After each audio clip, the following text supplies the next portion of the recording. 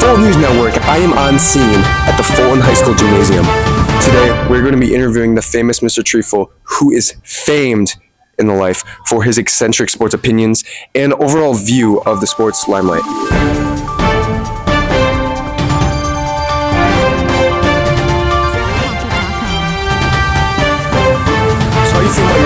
You coach uh, girls varsity uh, basketball, is that correct? Yes, yes. Uh, it's been a pretty good year. Uh, we got a couple weeks left, getting ready for districts, and just want to be playing it good at the right time. So looking forward to that and make a run, and hopefully make it all the way to the Breslin Center. So. Now that is great to hear. Um, do you think you have any uh, college or WNBA contestants on your team? Um, college players, yes, if they work at it. You know, um, one of high school athletes make it, but uh, it takes a lot of work, and hopefully our girls after this year recognize the hard work that they can put in and the goals they can achieve, and anything's possible. So, now uh, what do you what are you feeling about the Super Bowl turnout this weekend? Uh, Super Bowl was fun. Uh, started off pretty boring, but second half was fun, competitive, and can't bet against Patrick Mahomes. You have any stake in the game? Nope, I didn't.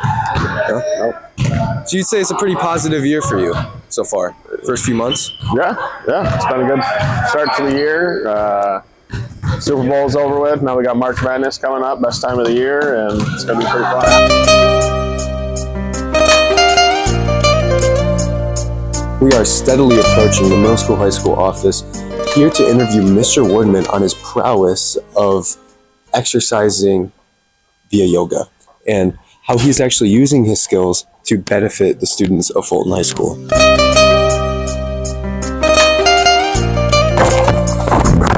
Um, no, I was just wondering if Mr. Woodman is in. Looks like he is not in right now, but he should be soon. In the meantime, let's swing it over to Xander for fitness.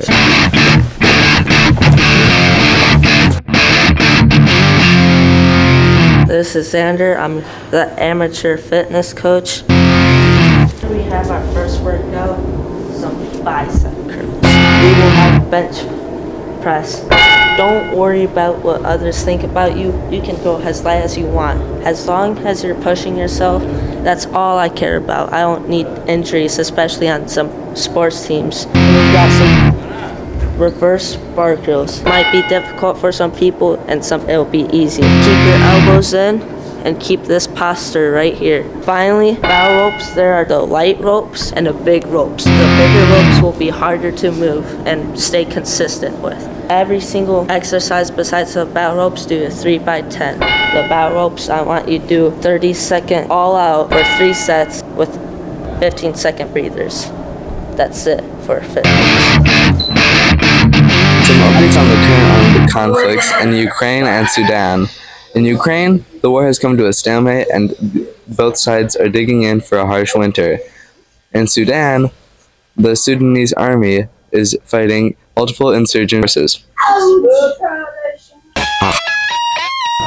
Now it is Valentine's Day week, of course. Grab your lover by the side, get her a box of chocolates, maybe even a Hershey kiss.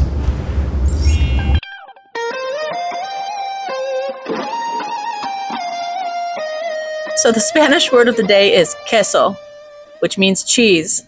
So stop saying, Can I have cheesy queso, please? Because you're literally saying, Can I have cheese, cheese? News in, don't say cheesy queso. It just means cheese, cheese. You hear that?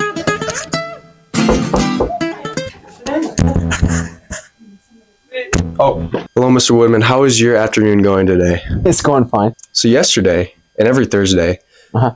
uh, you partake in yoga class. Is that correct? Yep.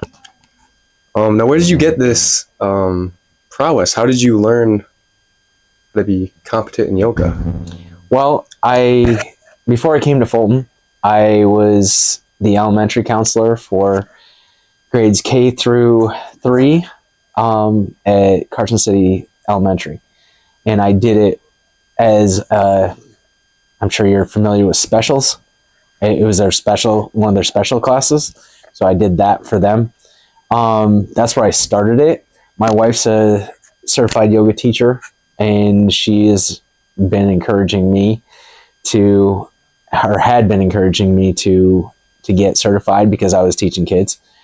And so this past summer, I went through a 200, 230 hour training um, over the summer and became certified as a yoga teacher and instructor for yoga and, and mindfulness and social emotional learning.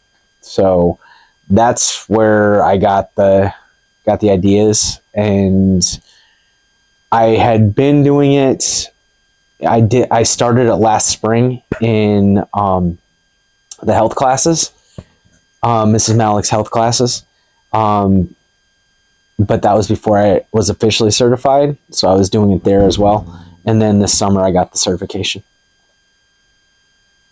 so That's quite the story. um, so does this help you outside of school, um, in your everyday life? Being Yeah. certified. Uh-huh.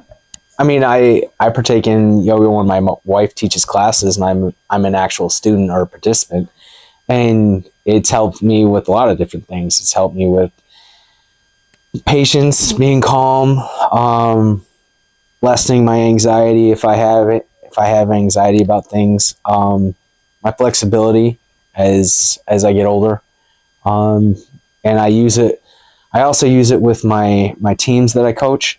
Um, usually before the day before a meet um, or competition as far, part of our lighter practice we'll we'll end with a, a short yoga session and a visualization session and they they seem to enjoy it and they ask for it every so often as well so Uh, what's your favorite yoga pose?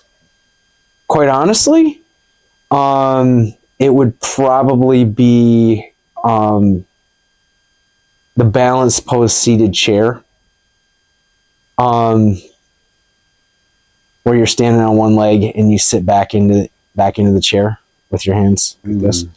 Um, but the but my absolute favorite yoga pose is the is at the end. It's called there's a name for it. It's called shavasana, and it's your point of rest where you're actually totally relaxed and and not worrying about anything at all. So that last few minutes that we get in every session, that that actually has a name, and it is shavasana, and that's that's my absolute favorite part of it.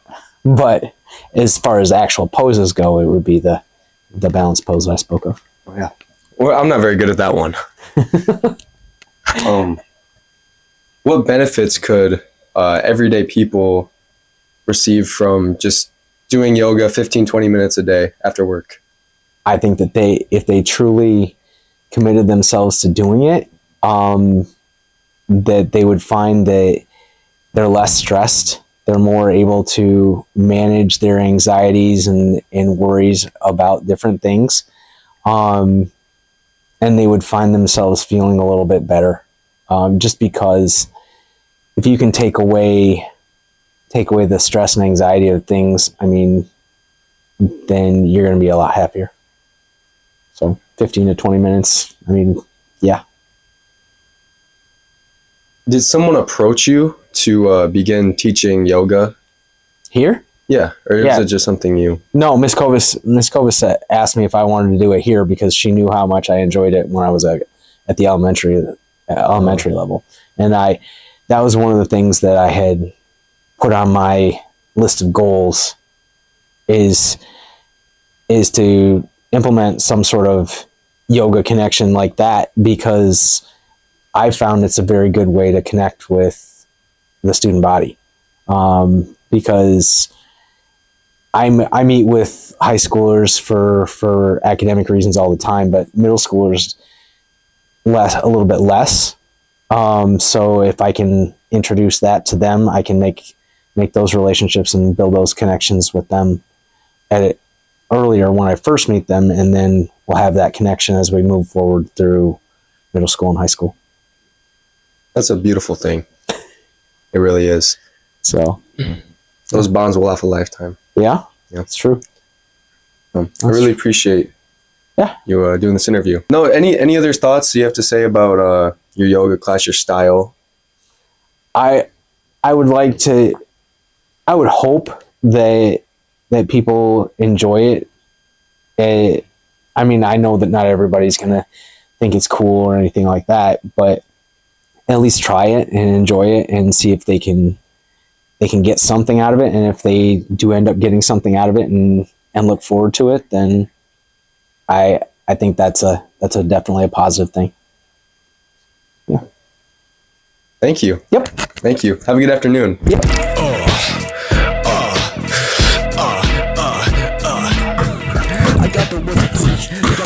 Last night, February 15th, Cord Marchek hit up the stands rapping about his very own whatever. I wasn't there. I had to take my grandma to dinner.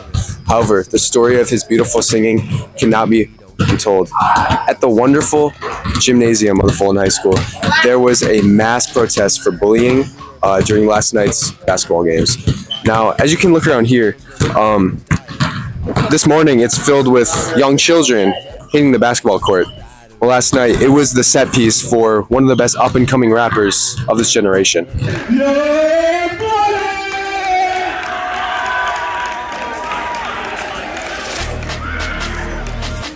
Yeah,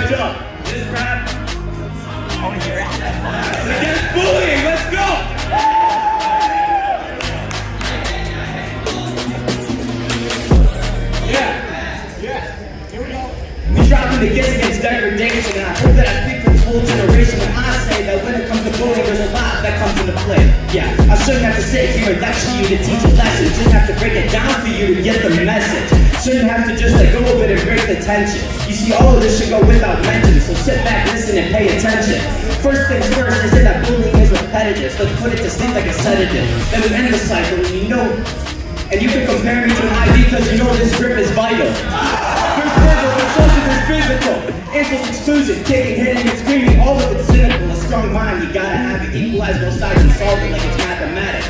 Just, it's just these words that cause us division and call me a numerator because I'm over it. I shouldn't have to stay here and lecture you to teach a lesson. Shouldn't have to break it down for you to get the message. Shouldn't have to just let go of it and break the tension. You see, all of this should go without mention. So sit back, listen, and pay attention.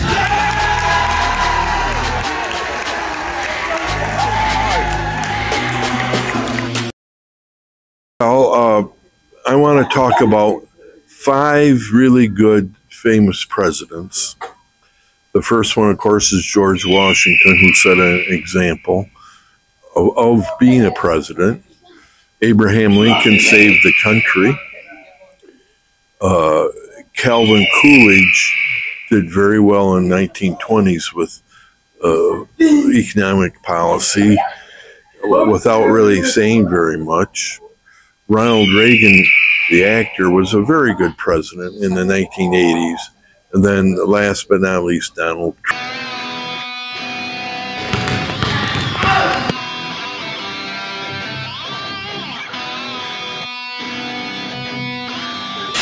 Talk and then hold it up to the camera. Not that close.